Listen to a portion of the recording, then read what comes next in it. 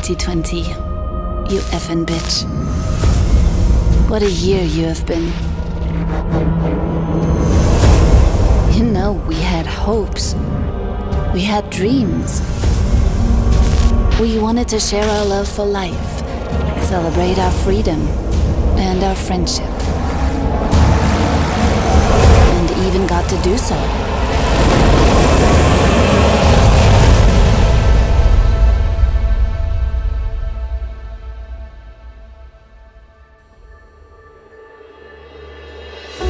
In January, we thought you'd be a special year, 2020.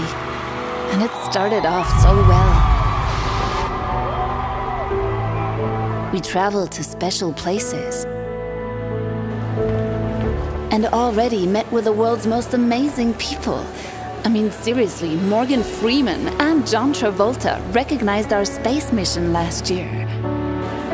We celebrated our first World Club Dome Hollywood after party with Robert De Niro. In preparation of our biggest club in the world in the summer, our friends met us at a party in Las Vegas to discuss what we love doing most creating a space filled with music and positive emotions.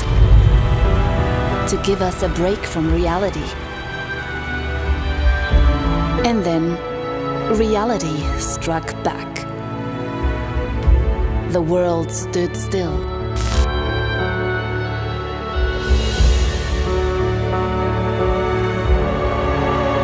And then, we got up again.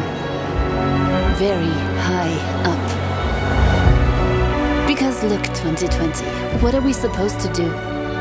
This is our passion. We want to bring joy, even. No, wait. Especially when times are tough.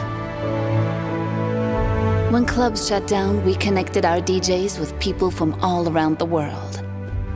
Keeping everyone safe and healthy, we set up the World Club Dome Drive In editions.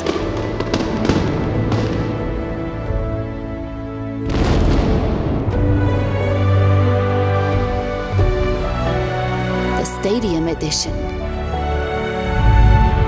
The Escalator Edition. And amidst it all, gave life to our newest baby, the World Club Dome Club Kitchen. Because the show and life must go on. For our heart and soul's sake, 2020. We know humanity is not perfect.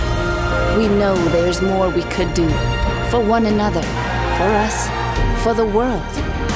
We took the time, we understood. We're still learning. Thankful for everyone who stayed healthy during this extraordinary year. And for the music, art, and the creativity that emerged from this time that kept us alive. We say, thank you, 2020. It is now time to move on to even bigger things. See you in 2021. Big City Beats loves you.